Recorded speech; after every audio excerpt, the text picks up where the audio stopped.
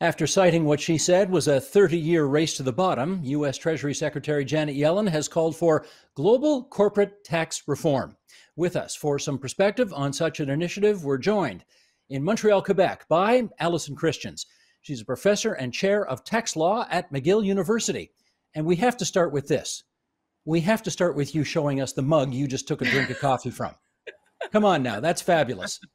Yeah, well, I really do love tax law. okay, so we've got the right person for this interview. Clearly, that's great. Yeah.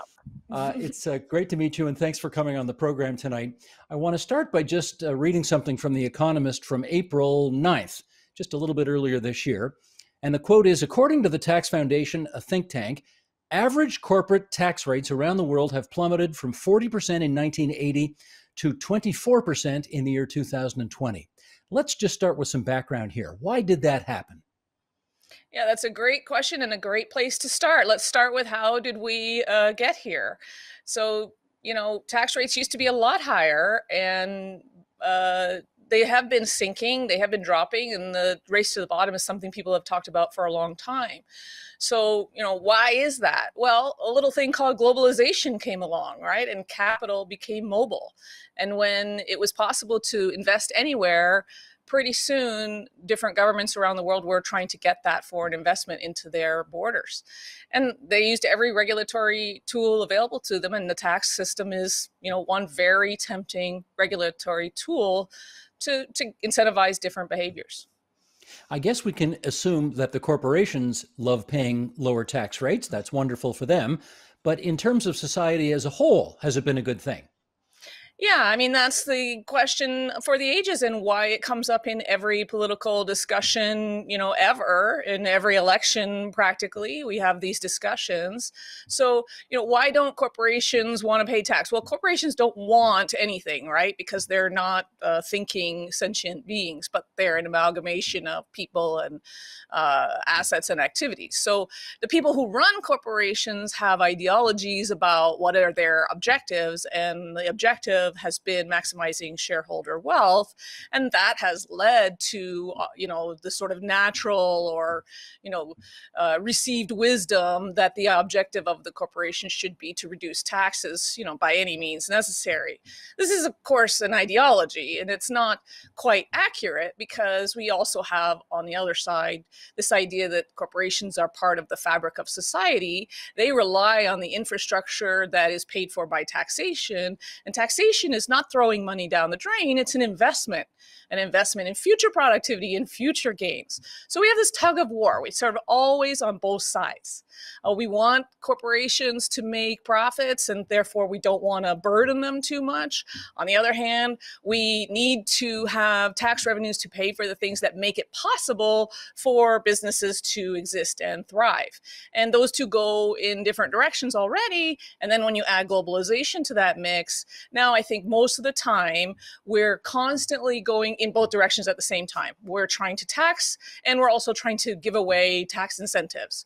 We're trying to raise revenue and we're also trying to you know pave the road to uh, you know making corporate making it you know safe for corporations to operate here. You see this in tax competition? Let's see if we can uh, get a, a clearer picture of I guess who led the charge for lower tax rates? And we hear a great deal today about the FANGs, you know, Facebook mm. and Apple, and Netflix, Google, etc. That they're the ones, the tech giants, who actually led this race to the bottom. Is that accurate?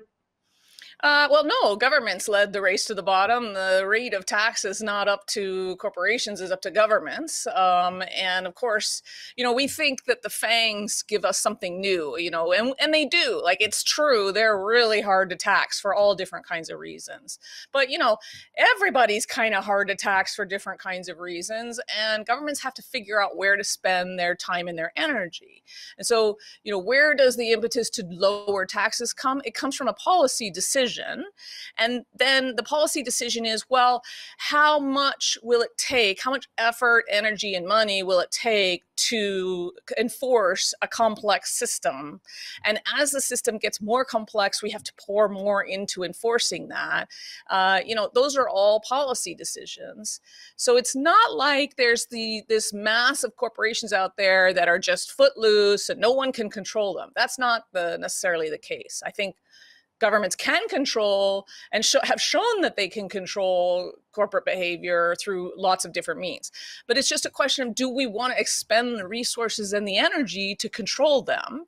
And tax is one of those controls. We see, you know, you see it in other areas like labor restrictions and antitrust competition restrictions. Those are all different ways to try to uh, figure out how much freedom or how much liberty should we give the corporation in the fabric of our society. These are policy choices. Well, here's one reason, and I'll go back to that original economist issue that I referenced at the top. Here's one reason why governments might want to get a little more interested in that, and that is the economist estimates.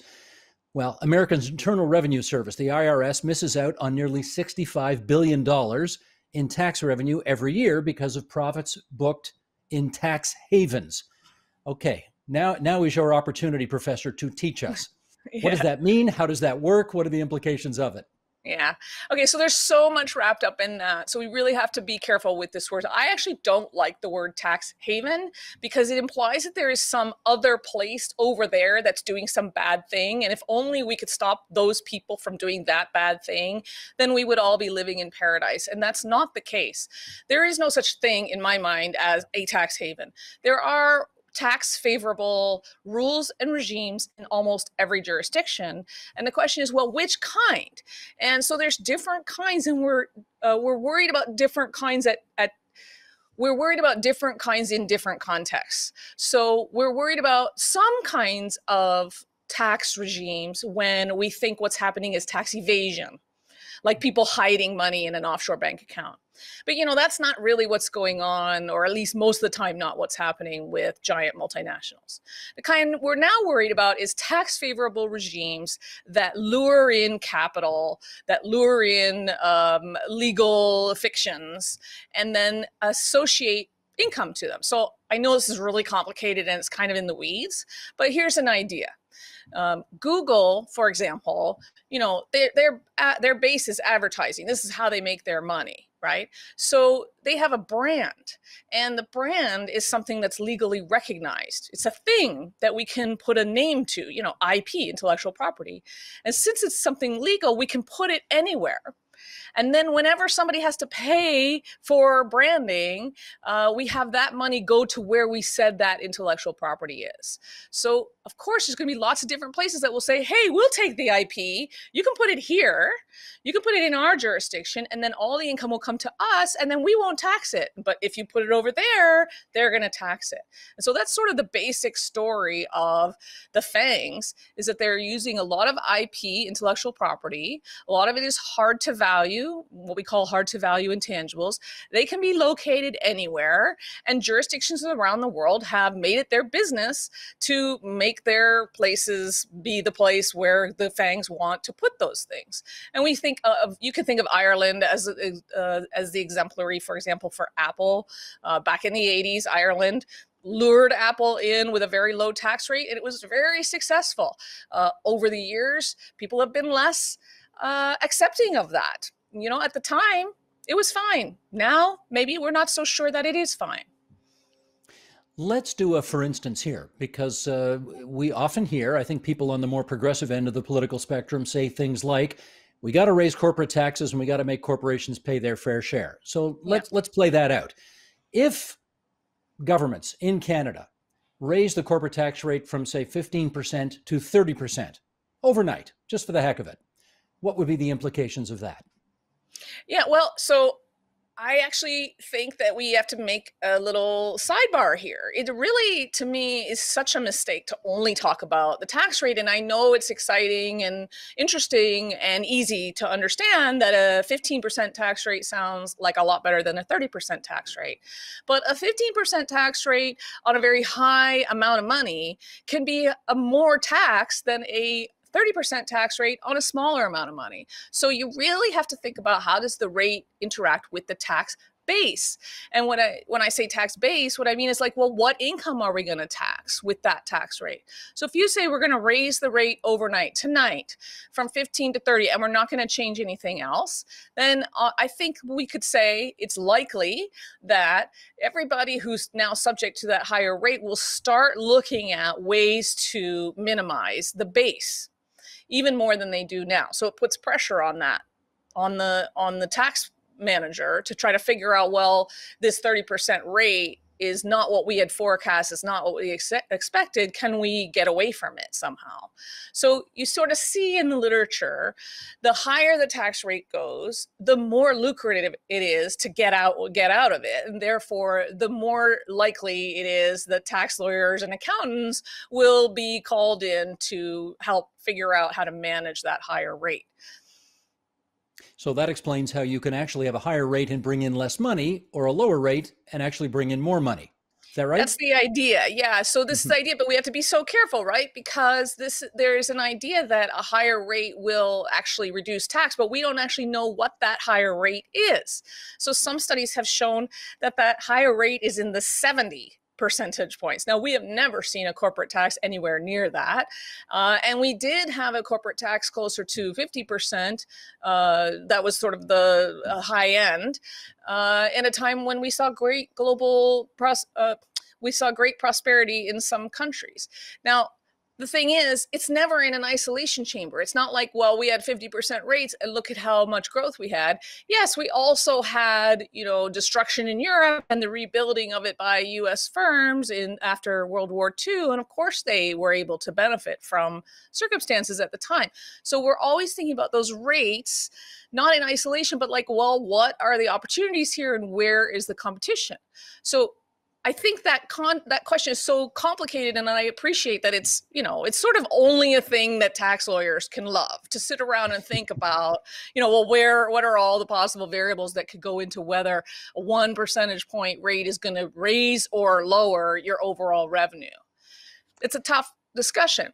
You will see people who say, well, look at the rates have changed over time, but the percentage of the tax that we collect from the corporate income tax hasn't actually changed that much. And that tells you something about, well, yes, but, yes, but we have also changed the base. We're constantly changing the base, not just you know changing what kind of income we tax but with exemptions with credits with deductions incentives you know it's you know, there's lots of different ways to do these things. Some of them are more salient, more obvious to the public, and some are just not at all obvious unless you know and you're an insider. All right, because as you've described it, many corporations around the world are looking for the most favorable place to quote unquote park their money where the tax situation is most favorable. We now have America's Treasury Secretary Janet Yellen putting forward an idea for a minimum corporate tax which has opened the door to a minimum global corporate tax. Can you give us some sense about how that might work, which I presume is designed to, to kind of repatriate some of that money that these big corporations are hiding in tax favorable locations? Is that right? Well, they're not hiding. So I just want to be really clear. Hiding is an so, is, is, is a pejorative word, right? Yeah, and it's also just they don't need to hide because mm-hmm. we're giving them those incentives. Sorry? It's legal. Yeah, exactly. They're not, for the most part, I'm not saying you all, okay? There's definitely mm-hmm. some funny business, and I would never say that there's perfect compliance with all the laws. But, like, for the most part, multinationals don't have to evade because we have paved the way for them to reduce their taxes in legal ways. So, so what is this global minimum tax about? Well, okay, to contextualize a little bit, the rest of the world has been talking about a global minimum tax for a long time, and the US has been part of those talks. But under the last administration, there was some uncertainty created around whether they actually wanted to participate in that. And let's just, you have to think about that in logical terms. Like, if most of the multinationals we're talking about, like the FANGs, if they're mostly US headquartered, why would the US want to have a global regime where other countries can tax those companies? What what is in it for the US for other countries to tax them? And I think the logical answer of that is well nothing. Mm-hmm. And so most, uh, I think most people are not shocked at all when the U.S. said, "Well, we're not too interested in any kind of plan at the global level that sort of shuffles around the income to make it possible for other countries to tax." But the global minimum tax is different. Okay, so this is a little bit complicated. And I'll try not to get too in the weeds with this. But here's the basic idea: if the U.S. has a high tax rate but other countries have a low tax rate, then just in the same way as we were talking about, capital is going to be feared to flee. It, we're going to worry that capital is going to go to those places where the tax rate is lower. But if the US has a high rate and then says, oh, and by the way, if you go abroad and you get a lower rate somewhere else, uh, we're just going to treat you as having received that income here and we're going to top you up to our higher rate. So whether you stay in the US or you go abroad, you're going to face our higher rate. And the thing is, that's a really hard thing to do unless you get other countries to help you do that right? You have to be able to figure out well what income did they get overseas? And you know how much tax did they actually pay? And what is the base? So when the US talks about a global minimum tax it's not obvious to me that what they mean is a global minimum tax that will make it possible for other countries to tax US based multinationals I don't think that we should be assuming that. I think what we should be assuming is the US understands that if they are trying to raise revenue from the corporate tax, then being undermined by a race to the bottom in which they have participated for decades, if that continues and they're undermined by it, then raising their corporate tax rate isn't going to get them the revenues they want. So getting cooperation from others might help make that happen, but it doesn't mean that the rest of the world is going to tax that income. I can see why the United States would want the corporate the uh, cooperation of others to make this happen. I can also, given your description of the way things work, understand why other countries it would not be in their interest at all to help the United States to make this happen. So, is this thing kind of dead on arrival? I don't think it's dead on arrival. So I'll tell you how we usually do things in international tax this is how we do things. We generate some energy around some problem. Currently, it's that the FANGs and so on are not being taxed enough. And that is a real problem. I'm not minimizing that at all. That's actually a big problem for us. So we generate some energy around that. Then we go to the international uh, arena, and usually it's the Organization for Economic Cooperation and Development, the OECD, that coordinates a cooperative consensus building effort. We go to them and they start making suggestions. They start talking about, well, here's the solution and here's that solution. And immediately everyone in the tax community pounces on that, says, well, A, it's too complex, it's not workable. B, it's not fair. C, it's not going to work unless the US is on board. D, if the US is on board, then it probably doesn't work for anyone else. Everyone starts arguing. And then because they have announced that they're building a consensus, they will in fact deliver a consensus. The question is, what will be the content of the consensus? So, my prediction is that there will be some sort of thing that people call a global minimum tax. And when you pull back the the title of that and you look at what's in that package you're going to see all kinds of things about what the income base is consolidation financial statements and you know income statements and accounting standards and you're going to see all of this stuff and every one of those things that sort of makes you go well what's in this? I don't even understand what they're saying. Each one of those things is a point of contention which then will be hammered out over years and years and decades until the next round when we say, "Oh, we have this problem. We need to fix this problem." And everything I think, old is new again. Yeah, exactly. I think that's why we see Canada and a lot of other countries saying, okay, well, oh, that's all nice. That's good. We're going to do that. But in the meantime, we're going to talk about digital services taxes. We're going to think about domestic solutions. You know, we're going to be sort of crafting a plan B, if you will, for what happens if that global uh, consensus doesn't form in a way that work, works for us. Hmm. In which case, Allison, let's finish up on this. If it happens as you describe it, if the OECD countries, Organization for Economic Cooperation and Development, if those Western countries come together and they are able to strike some kind of grand bargain, the likes of which you've just described, what could that mean to Canada's bottom line?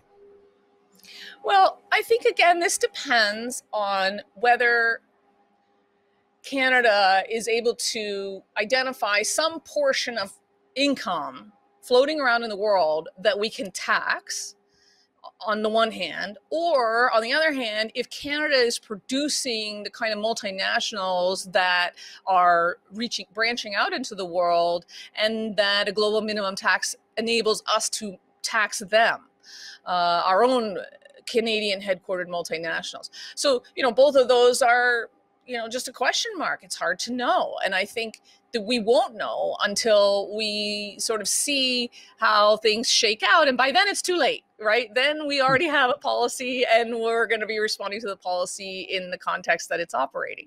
So you know i hate to tell you that i don't know but that's the that's the reality. I don't think anyone knows and actually that's why it makes people nervous right agreeing to a consensus that you're not sure whether you benefit or might be hurt by uh, makes people sort of not sure they want to enter into that. Well, I think our viewers and listeners, after watching and listening to this interview, all need one of those mugs because I think we now all heart tax law. That was a great presentation. Allison well, Christians from McGill University. Thank you so much for spending so much time with us on TVO tonight. Thank you so much. It's been a great pleasure. The Agenda with Steve Paikin is brought to you by the Chartered Professional Accountants of Ontario. CPA Ontario is a regulator, an educator, a thought leader, and an advocate. We protect the public. We advance our profession. We guide our CPAs. We are CPA Ontario. And by viewers like you. Thank you.